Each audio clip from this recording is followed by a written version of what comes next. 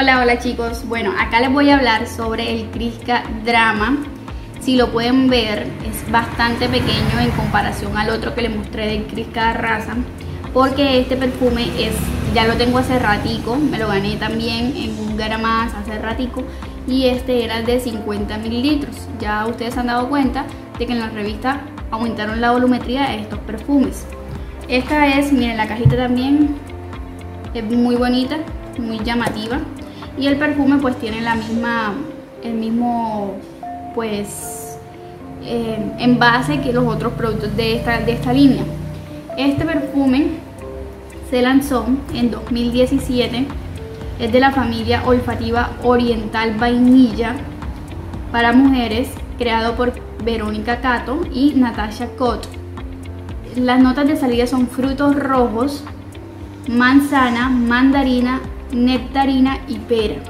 Las notas de corazón son flores blancas, jazmín, peonia y praliné. Y las notas de fondo son ámbar, vainilla, caramelo, cedro, abatonca, almizcle, pachulí y sando. Eh, este perfume a mí me gusta mucho porque es dulce, es bastante dulce.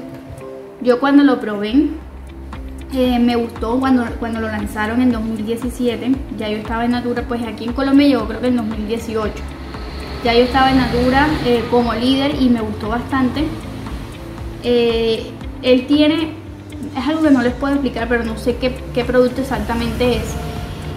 Es como si fuera, me da una sensación de mentolado. Cuando tú lo presientes en las notas de salida, de pronto puede ser la nectarina, puede ser que es la que veo diferente, que nunca la había sentido, es primera vez que veo ese nombre. Puede ser la que da esa sensación como de, mentolado. Sí. No sé si ustedes han probado, no sé en sus países si lo hay. Aquí en Colombia es el talco mexana, que yo creo que sí es la nectarina, que tiene un olor así como mentolado al fondo. Bueno, más o menos así huele este pero un olor rico, no es un olor feo, es un olor sabroso y pues es bastante dulce. Este perfume me gusta mucho, yo lo uso. Este ya lo tengo hace ratico, no lo he utilizado porque tenía otro que no se había acabado y pues ya voy a empezar a usar este.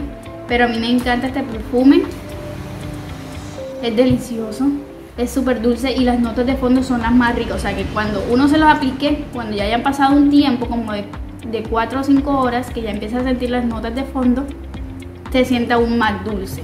Y tiene, bueno, ya saben, si han podido probar este producto, déjenme en los comentarios para saber sus opiniones. Y pues, me gusta el video.